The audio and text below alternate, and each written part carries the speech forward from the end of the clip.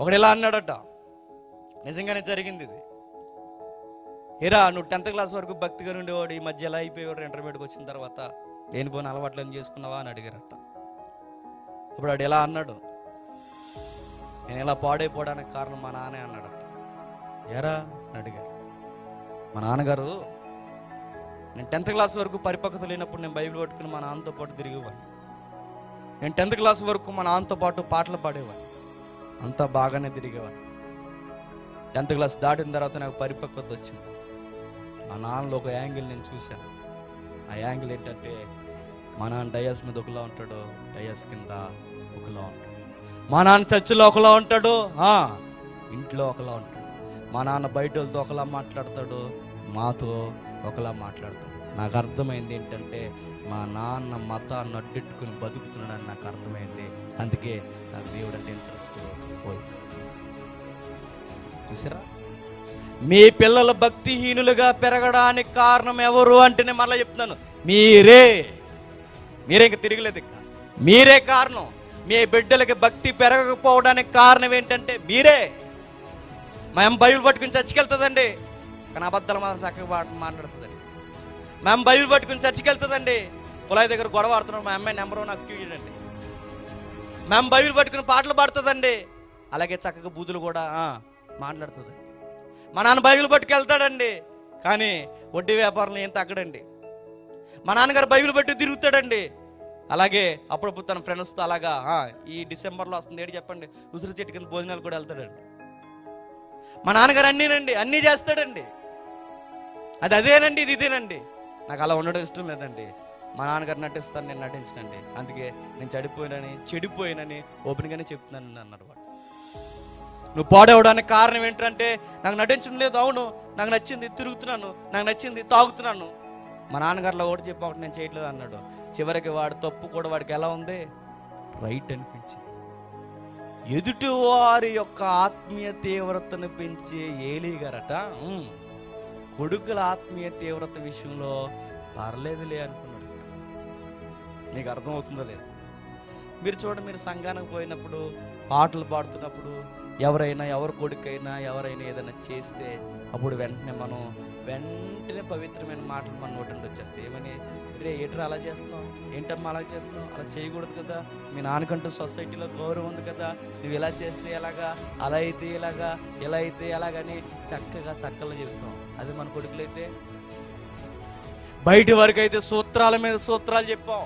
బయటి వరకు అయితే రకరకాల యాంగిల్స్లో హుందాగా మాట్లాడాం. బయటి వాళ్ళతో మాట్లాడుతున్నప్పుడు ఎంత బాగా మనం యాటిట్యూడ్ మెయింటైన్ చేస్తామంటే మనం మంచోళ్ళు అని వాళ్ళు అనుకోవాలని వాళ్ళ దగ్గర చాలా మంచిగా మాట్లాడి వాళ్ళ తప్పులను కూడా సరి చేస్తాం.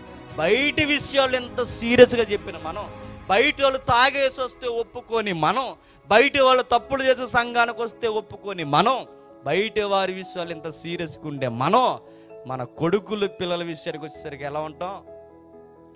పర్లేదులే అనుకుంటాం. ఏలే కూడా చేసిన భయంకరమైన తప్పు ఏంటంటే ఆయన తప్పు అని అనాలో మరి ఏమనాలో నాకు తెలియదు కానీ ఆయన చేసిన ఒక నేరో లుక్ చూసి చూడని చూపు ఏంటంటే కొడుకుల్ని అలా అలా వదిలేసాడు ఈరోజు క్రిస్టియన్ ఫ్యామిలీస్లో ఉన్న చూడండి. ఈరోజు క్రిస్టియన్ ఫ్యామిలీస్లో జరుగుతుంది ఏంటి చెప్పండి? మీ భక్తి మీ భక్తి మీరు చర్చిలో ఉండే ఈ వ్యక్తిత్వం ఇప్పుడు కాముగా ఉన్నారు చూడండి చక్కగా మంచిగా శ్రద్ధగా కూర్చొని ఈ కామ్ యాటిట్యూడ్ మీరు ఇంటికి వెళ్ళిన తర్వాత ఉంచరు. ఇంటికి వెళ్ళిన తర్వాత చూడరు. ఇంటికి వెళ్ళిన తర్వాత పట్టించుకోరు. భక్తి విషయంలో సీరియస్గా మీరు మెయింటైన్ ఇంటి దగ్గర చేయకపోతే మీ పిల్లలు అనుకుంటారట. పర్లేదులే అనుకుంటారు. బయట వాళ్ళకి చెప్పేటప్పుడు సీరియస్గా చెప్తాం. కొడుకులకి చెప్తున్నప్పుడు ఏమంటాం? అలా చేయకూడదు కదా నాన్న అంటాం ఎవరిని? అనవండి. బయట వాళ్ళు తప్పు చేస్తే ఒకలా మన పిల్లలు తప్పులు చేస్తే అది చేస్తాడండి. మీరు మీ ఓన్ రమ్మన్నారా?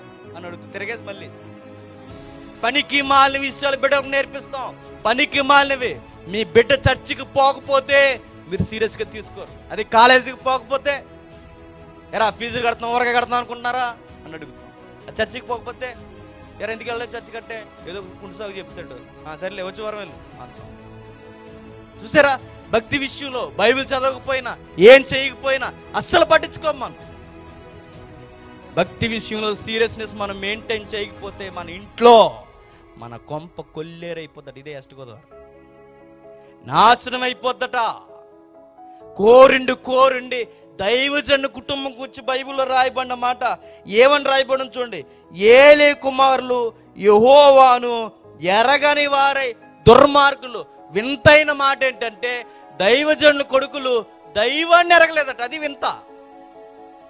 దైవజను కొడుకులు దైవాన్ని అది ఎరగకపోవడం ఏంటి? మీరు చూడండి మన క్రిస్టియన్ ఫ్యామిలీస్లో మనతో పాటు మన పిల్లలు చచ్చుకొస్తారు మనతో పాటు పాటలు పాడతారు. ప్రైజ్లాడు చెప్పిన అన్న అంటే ప్రైజ్లాడు చెప్తారు వందనాలు చెప్పిన ఆయన అంటే వందనాలు చెప్తారు ఏమేం చెప్పాలో అంత క్రిస్టియన్ అట్మాస్ఫియర్ అంతా నేర్పిస్తాం. కానీ బైబిల్ దేవుడు అంటే వాళ్ళకి ఏంటి తెలియదు అందుకే చూడండి నేను ఎలా అంటున్నాను కాదు కానీ చాలామంది రౌడీ సీటర్లతో సెటిల్మెంట్లు బ్యాచ్తో తిరుగుతున్న వ్యక్తుల్లో ఈ మధ్య అక్కడక్కడ కనబడుతున్న వ్యక్తులు ఎవరు చెప్పినా? దైవజనుల కొడుకులు. ఉన్నారు కావాలంటే చూడండి వచ్చి. దైవజనుల కొడుకులు సంఘ విశ్వాసుల కొడుకులు క్రైస్తవ బిడ్డలు. వీళ్ళు ఎందుకు ఎలా వస్తున్నారంటే బిడ్డల్ని ఆ విషయాల్లో చూసి చూడనట్టు మందలిస్తున్నాం అంతే మనం. గారాభంగా మందలిస్తున్నాం. అంటే గారాపం పెట్టండి. కానీ భక్తి విషయంలో అట్టగోలు గారాపం పెట్టారో? మీ పిల్లల భవిష్యత్తుని మీరే చేతులారా నాశనం చేస్తారు. గారాభించండి కాదంటలేదు. బుజ్జగించండి కాదంటలేదు. ముద్దులెట్టుకోండి కాదంటలేదు. దైవికమైన విషయాల్లో వాళ్ళ దగ్గర సీరియస్గా కూడా మనం మెయింటైన్ చేయాలి. రే ఈరోజు నువ్వు చచ్చికెళ్ళలేదా? ఈ విషయం నాకు నచ్చలేదని మనం ఉండాలి. ఒక ఆయన అంటాడు కొడుకుని కొట్టడానికి బెత్తం తీస్తున్నాడు బెత్తం చూసి భయపడకూడదంట వాడు మరేం చూసి భయపడాలి? వాళ్ళ నాన్న యొక్క యాటిట్యూడ్ ఆహా ఈ టైంలో నేను సరిగ్గా లేను. నన్ను సరి చేయడానికి మా నాన్న బెత్తం చేస్తున్నాను వాడికి అర్థం అవ్వాలట. పిల్లల్ని గద్దించడం అంటే గోడ గుద్దేసి ఫ్రిడ్జ్ని గుద్దేసి టీవీ పడగొట్టేయమని కాదు. అది కాదు. అది కాదు గద్దించడం అంటే. గద్దించడం అంటే మా నాన్న మనసును నేను నొప్పిస్తున్నాను. మా నాన్నకి ఈ విధానం నచ్చదని ఎలా ఉంటే నచ్చుతానని వాళ్ళకి అర్థం అవ్వాలంట. అర్థమయ్యే భక్తినట వాళ్ళ ముందు రోల్ మోడల్గా ప్లే చేయాల్సింది ఎవరట? పేరెంట్స్ అయినా మనమేనా